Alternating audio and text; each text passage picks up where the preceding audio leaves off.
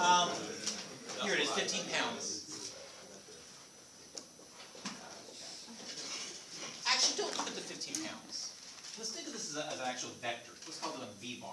I'll call this one U bar, this one W bar. Wouldn't it be, wouldn't it be negative, um, for the value? No, Well, because the personally, I direction think of the vector itself as having a negative y component. Oh, okay. Oh, okay, okay, okay. I'm just saying, uh, Yeah. before I was drawing the pounds and I said, well, let me draw it as a vector. Yeah, I see what you mean. And again, you guys, the system's in equilibrium. Don't you guys agree that, well, cheapest when I sum these vectors together? I'm gonna get the zero vector? Yep. Or shall I say, u bar's first component, which is nothing more, I don't know, I think that'd be quiet, you guys talk. What, what is the first component of u bar?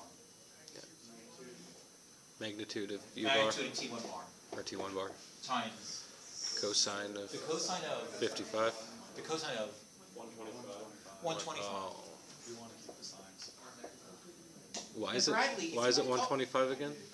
It's just because. I don't know, depends how you wanna look at it. I like to refer to the cosine of one twenty-five, because if I threw the x-axis here, the y-axis here, so Yeah. this is in standard position, I think the angle I make with the positive x-axis is gonna be the supplementary angle to this one. Okay. But Bradley, if you wanna call it co- the cosine of fifty-five degrees, do it your way. It's just you have a negative sign up front, right? Yeah, that's what I did. Well, that's fine, that's Oh, equivalent to what I okay, have. okay. I don't have to show my negative sign, you guys, because the cosine of one twenty-five is naturally gonna be a negative quantity, since that angle's terminal side lives in the second quadrant. It's entirely up to you. Okay. Um, I'm gonna add that to my W bar's first component, which by the way, I'll be quiet. Cosine of forty. Cosine of, I actually forget. Well, the supplementary, angle to forty is, is irrelevant. Cause I think again, with the x-axis here, the y-axis here, I think this angle right here is nothing more than the angle which measures forty degrees because, um, says, um, yeah, those are two angles that are on opposite sides, uh, interior to two parallel lines for a transversal. Are you saying that for the first part, if you did negative magnitude of T one cosine of fifty-five, that would have been fine? Yeah, do you agree with that? I think so. Okay, just, just for our standard trigonometry, I mean, fifty-five degrees is the reference angle for one twenty-five. Yeah. Yeah, but since I'm sitting in the second quadrant, I know the cosine value has to be negative, so you can easily interpret this as a negative cosine of fifty-five piece of Okay. cake. Um, so we agree that it's gonna be forty degrees, not a supplementary angle. Well, that's the first component. Actually, I should do something else, shouldn't I? Should I add my zero, because that's the first component of V bar? Comma, the second component is gonna be, well, likewise, you guys, the magnitude of T one bar times the sine of that, is it one twenty-five? Um, is that gonna be plus the magnitude of T two bar times the sine of my, is it forty degrees?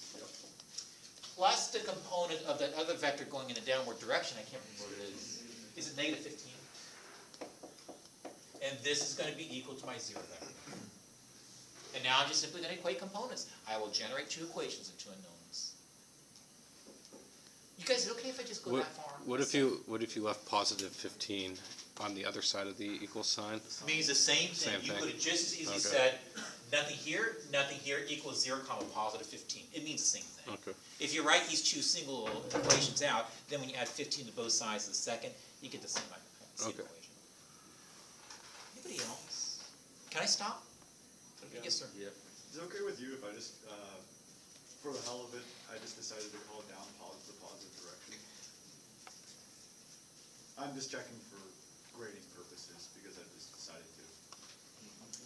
But I think if you did, it's gonna change the vertical components of the Yeah. other two vectors. Okay, Make that's them fine. negative. That's fine. If, I- do- if you change all of them, I agree. Yeah, There's nothing wrong with that at all. okay, I was just checking for grading purposes. I didn't- And, and the reason why mathematically it's completely valid is because you're just taking one of my equations and multiplying both sides by negative one. So they are definitely equivalent. Okay. Equivalent equa- equations are equivalent if they have the same solutions.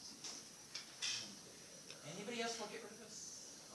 Awesome. So you'd solve this one probably with substitution or, I don't know. you could, You know, I probably would, only because I didn't get lucky like in the homework Yeah, stuff, where where you had two that were are out of exactly the same. bounds. I would definitely use substitution technique. okay. Um, you guys, substitution, elimination, what are the other techniques you can use to solve this system? Matrices? matrices. In other words, rewrite the system, of two equations and two unknowns as a single matrix equation and use inverse matrices to solve that, that single equation. Or you can use, Graphing? uh, yeah, I don't know. Or you can use, Magic? no magic. Yeah, that's right. Go, go. Gauss Gauss Jordan Jordan elimination. on an augmented matrix. If, really? If you don't remember any of that stuff, don't listen to me. You can also use Ker- Ker- Cramer's rule. Cramer's rule. is what the term is. Okay. I'll stop.